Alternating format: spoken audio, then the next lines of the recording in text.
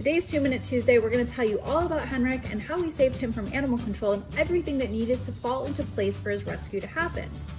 Henric came from Chicago Animal Care and Control, where he was brought in as a stray after he was hit by a car.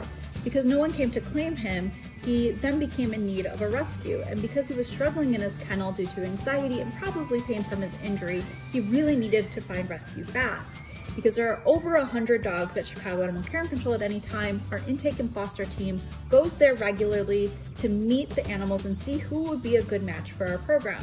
It was clear that Henric was struggling inside of his kennel, but once we took him out, he was so friendly, so sweet, so social. It was clear that he would do great in our program, so we decided to put him on the list of dogs that we wanted to save. But before we did that, we had to make sure that three things could happen. Number one, we needed to make sure that we had a foster that could care for him once we took him out.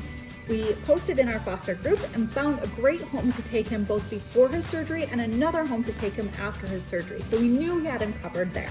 The second thing we needed to do is make sure that we had enough funds to care for his medical.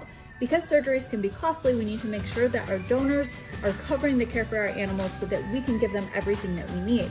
Thankfully, One Tail at a Time has an amazing group of monthly donors and donors who regularly support our animals in need of medical care. So that was in place, so we knew that we can care for him. And number three, we needed to make sure that we had volunteers in place to take him out of the shelter, to drive him to his appointments, to help with socialization or anything else that we needed to give Henric everything to recover from his surgery.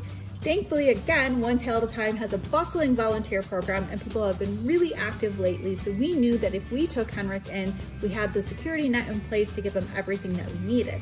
So we saved Henric from animal control. He's had his surgery, he's on the mend and should soon be adoptable.